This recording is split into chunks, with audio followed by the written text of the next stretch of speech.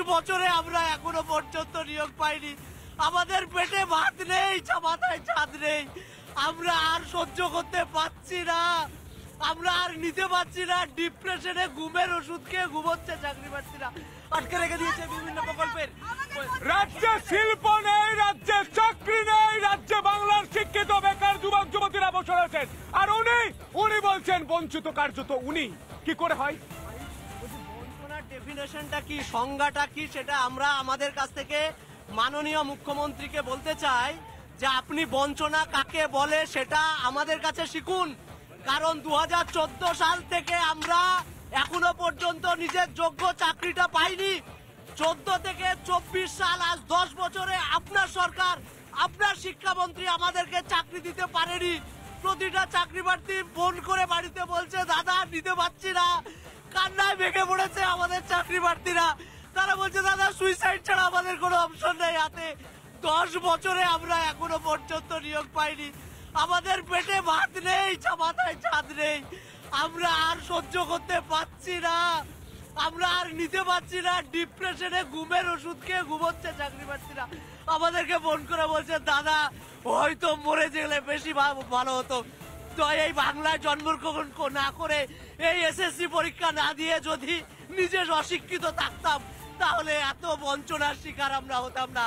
আপনি নিজেকে বঞ্চিত বলছেন, আমাদের কাছে এসে জিজ্ঞাসা করুন, পাত পা হেঁটে এসে আপনি রেড রোডে দাঁড়িয়ে বঞ্চনার কথা বলছেন, সেখান থেকে মাতঙ্গিরি হাজরা মূর্তির পাদদেশে একশো মিটার দূরত্ব। আপনি আসুন, বঞ্চনা কাকে বলে আমাদের সঙ্গে কথা বলুন। দেখুন বঞ্চনা কাকে বলে। দেখুন আমার প্রাইমারি চাকরি প্রার্থী প্রাইমারি চাকরি প্রার্থী যারা দিনের পর দিন রাস্তায় বসে আছে তারা বঞ্চনে বঞ্চিত কতটা? আপনি রাজ্যের মানুষের জন্য বঞ্চনার কথা বলছেন। আমাদের বঞ্চনার কথা কে বলবে?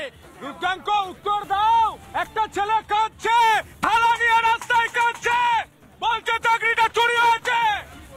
উত্তর রয়েছে। আমি বলি যে আমাদের ইন্ডিয়া আমি আবারও বলছি আমাদের ইন্ডিয়াতে কত জনসংখ্যা রয়েছে?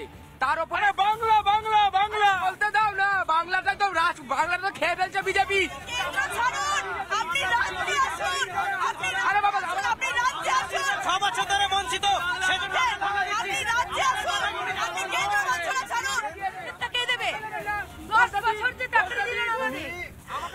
আমরা সত্যতা আর নিতে পারছি না আমরা আর নিতে পারছি না।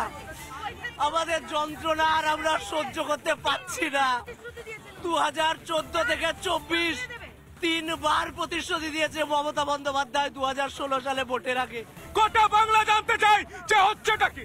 কোথায়? আমি আমি একদম শুরু থেকে বলি আমাকে একটু টাইম দাও আমি বলে দিচ্ছি। বঞ্চনার কথা বলছেন তো মুখ্যমন্ত্রী? যে বঞ্চনার কথা মুখ্যমন্ত্রী বলছেন তাকে জানিয়ে রাখি কালকে ক্যাগের রিপোর্ট নিয়ে সরাসরি ভাবে কেন্দ্রীয় দপ্তর থেকে আমরা ওপেন ভাবে কেন্দ্রীয় সরকারের বিরোধিতা করছে তো? কেন্দ্রীয় সরকার দু হাজার আঠারো থেকে দু হাজার একুশ সাল পর্যন্ত প্রায় এক লক্ষ পঁচানব্বই হাজার কোটি টাকার কাজ বলতে পারো না, BJP সরকার কি কি করে রেখেছে?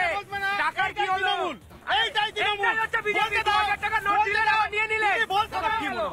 চাকরি প্রার্থীদের সরিয়ে দিয়ে বঞ্চনার বঞ্চনার বঞ্চনার প্রতিবাদ করছেন মমতা বন্দ্যোপাধ্যায় বঞ্চিতদের সরিয়ে চাকরি অবশ্যই দেওয়া উচিত।